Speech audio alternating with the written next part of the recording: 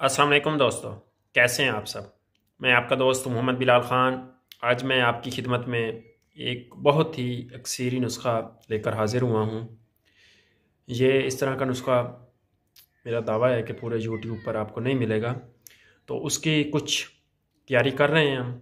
उसका जो प्रोसेस है वो स्टार्ट कर रहे हैं। तो उसके लिए हमें जो सबसे पहले चाहिए बंग का अर्क। तो भंग का अर्क बनाने के लिए एक किलो तक हमने भंग के खुश किए हुए पत्ते, जो साए में, छाँव में हमने खुश किए हुए हैं, फ्रेश पत्ते। तो उनको आपने एक किलो भंग के पत्ते डालने हैं, जिस तरह से अर्क निकाला जाता है, अर्क गुलाब, उसी तरीके से। और इसमें आपने छः सात लीटर तक पानी डाल देना है, और इसमें से आपने चार लीटर तक अर्क कशीद कर लेना है। तो ये सबसे जो पहला प्रोसेस है, वो यही है, अर्क वाला। उसके बाद जो आगे हम बनाएँगे नुस्खा तो इन इस तरह का नुस्खा आपने पहले कभी नहीं देखा होगा। उसमें मोटी मोटी चीज़ें मैं आपको बता देता हूँ और बनाने का तरीका अगर मैं इधर ही आपको बताने लग जाऊँ तो ये वीडियो बहुत लंबी हो जाएगी। तो इन इसके छोटे छोटे पार्ट जो हैं वो मैं बनाऊँगा और आपकी खिदमत में पेश करूँगा। तो इसमें बहुफली जाएगी, सिंगाड़ा जाएगा, किकर की फली जाएगी, माजू बेसुराखे जाएँगे और इसमें जो है मगज़ तिमर हिंदी जाएगी इमली और उसके बाद मूसली सफ़ेद जाएगी, स्तावर जाएगा, तुखम कोच जाएगा, संदल सफ़ेद जाएगी, असली।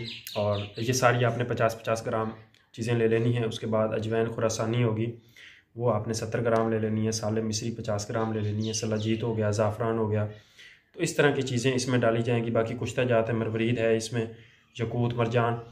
तो वो इन मैं इसकी एक अलहदा से वीडियो बनाऊँगा। तो फ़िलहाल जो इसका सबसे पहला स्टेप है, वो यही है कि आपने भंग का अर्क बनाना है। तो वो मैं आपको बता देता हूँ कि आपने किस तरीके से उसको बनाना है। तो ये सारी चीज़ें इसी के अर्क में आपने भिगो के रखनी है, ज़ाफ़रान वगैरह और इन चीज़ों को छोड़ के और कुश्ताजात को और सलाजीत वगैरह को। तो बाकी जितनी भी जड़ी बूटियाँ इसमें भिगो के फिर आपने इसका काढ़ा तैयार करना है, फिर इसमें आपने वो काढ़ा लेना है, फिर आगे आपने गाजर का रस वो उसमें डालना है। तो इस तरीके से इसके तीन चार प्रोसेस हैं, उसके बाद इसका साथ निकाला जाएगा, फिर इसमें कुछ तजात वगैरह मिलाकर। तो इसकी गोलियाँ बनाई जाएँगी जो ज़कावत है इसके लिए, मर्दाना कमज़ोरी के लिए टाइमिंग की कमी के लिए। जिन लोगों का जो मनी है वो बिल्कुल पतली है पानी की तरह उनके लिए।